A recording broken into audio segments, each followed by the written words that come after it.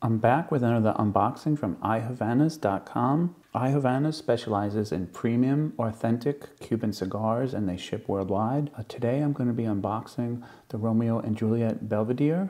Uh, these are uh, 4.9 inches long, uh, a 39 ring gauge. I believe they're considered a, a short panatella. This is a dress box of 25. I think the cigar uh, was machine made up until uh, the early 2000s, and uh, I do know that they used to come in at the uh, cello or the cellophane. Today they are all handmade with uh, tobacco from the Vuelta Abajo region, which is uh, definitely a plus. And of course, the, the Romeo and Juliet line is a flagship brand of Habanos SA, and um, of course named after Shakespeare's tragedy, Romeo and Juliet. They were officially established in 1875.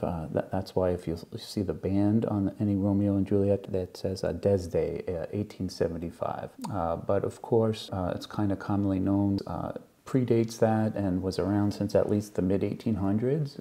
And of course, that ENE is the Spanish abbreviation for January. So January 2021 uh, means that these cigars have about uh, one and a half years of age on them, which is uh, a good start. So let's get this box opened. I'm excited to open these.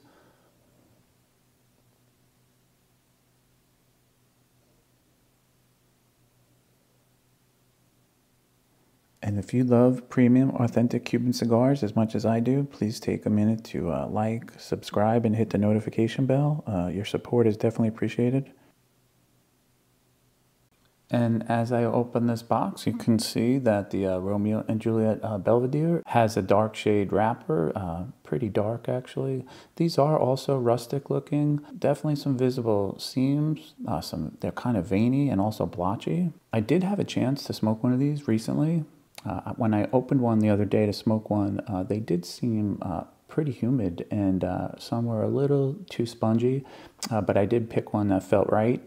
Uh, the cigar I smoked was oily, which was nice, and the first third started off very rich, a, a, nuttiness, some wood, and some sweet coffee, which was really nice. Um, I did notice that this cigar tasted uh, noticeably better uh, with the retrohale, and that was for all three thirds.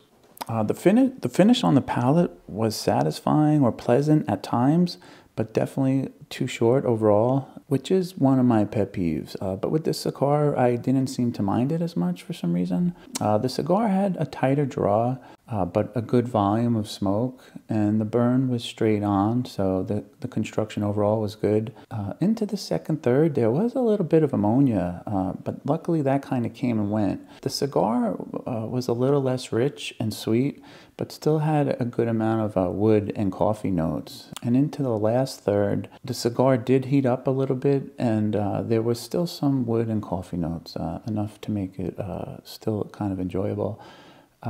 I, I will say this cigar smoked for uh, 45 minutes, but I did put it down uh, with about uh, an easy 10 or 15 minutes left. I, I didn't smoke it to the very nub. I'm pretty optimistic about this cigar. I'm excited that I have this box for sure. I think in another year or so, these things are going to be really good, and uh, especially with the uh, impending uh, price hikes that we're hearing about with Cuban cigars. I'm happy I've been snatching up a lot of boxes like this. So, um, Thanks again to iHavanas.com, and thanks again to all you guys for watching.